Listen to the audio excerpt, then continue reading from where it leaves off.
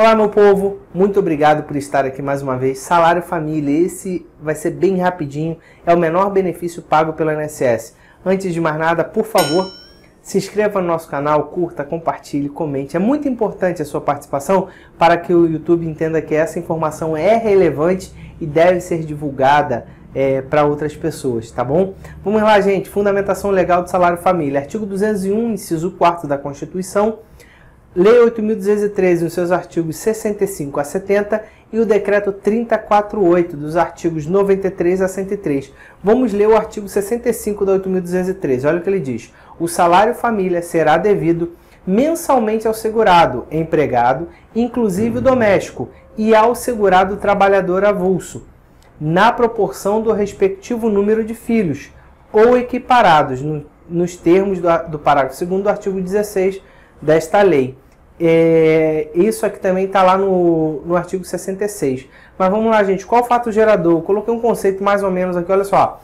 Ajuda o segurado no sustento dos seus filhos ou equiparados e menores de 14 anos ou inválido. Artigo 66. Quem tem direito, gente? Empregado, empregado doméstico, trabalhador avulso e aposentado por idade ou invalidez e qualquer outra aposentadoria, desde que tenha 65 anos homem e 60 mulher. É complicado, né? Pagar um salário família para menor com filhos menores de 14 anos ou equiparados para 65 anos homem e 60, 60 mulher. É complicado isso porque é muito difícil isso acontecer. Vamos lá, gente. Quem tem direito a esse benefício? O segurado de baixa renda. Para a lei, quem é segurado de baixa renda? A Instituição Normativa da INSS ela vai atualizando esses valores, mas hoje, em 2019, está quem recebe entre 907 reais a R$ 1.364,43. Condição para receber, gente, artigo 67, olha o que ele diz. O pagamento do salário família é condicionado à apresentação de certidão de nascimento do filho ou documento, documentação relativa ou ao equiparado ou ao inválido e à representação, apresentação anual do atestado de vacinação obrigatória e de comprovação de frequência à escola do filho ou equiparado, nos termos do regulamento. Parágrafo único. O empregado doméstico deve apresentar apenas a certidão de nascimento é, referida no caput.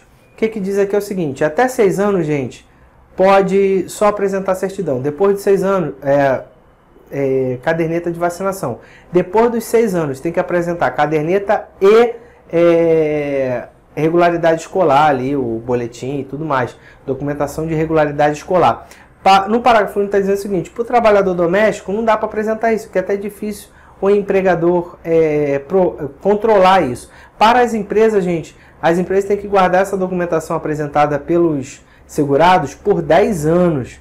Se a INSS chegar lá e pedir e não tiverem, o INSS não vai fazer a compensação previdenciária disso, ok? Quem tem, tem carência? Isso aqui, gente, não tem carência. Salário família não tem carência. Valor do benefício, gente, olha só o valor do benefício.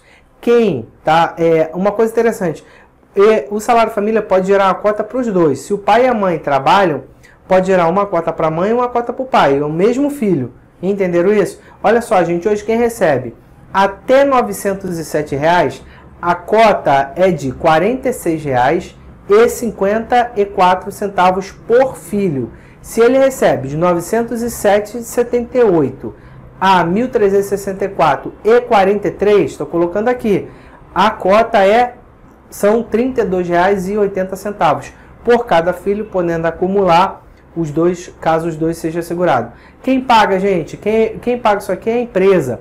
Tá? Normalmente a empresa, vocês viram lá quem são os segurados, são empregados e empregados domésticos. E no caso do trabalhador avulso, quem paga é o sindicato ou o órgão gestor de mão de obra, o OGMO, está lá no artigo 69. Data do início do benefício, gente. Se for empregado, é a data que ele apresentar a documentação. No caso do trabalhador, trabalhador avulso, no, na data que ele apresenta a documentação para o OGMO ou para o sindicato. E no caso dos aposentados que a gente viu lá, é, na data que ele faz o requerimento administrativo junto ao INSS. Artigo 65, parágrafo único. Gente, terminamos salário família. Olha, espero ter ajudado. Continue aqui conosco. Só falta agora a gente ver auxílio reclusão e aposentadoria da pessoa com deficiência. E vamos analisar profundamente toda a reforma previdenciária. Tenho certeza disso, mas com um ponto de vista é, mais fundamentado, mais coerente. Espero estar contribuindo um pouquinho para o seu conhecimento. Um grande abraço. Por favor, se inscreva no nosso canal, curta e compartilha, viu? Um abraço. Até logo. Tchau.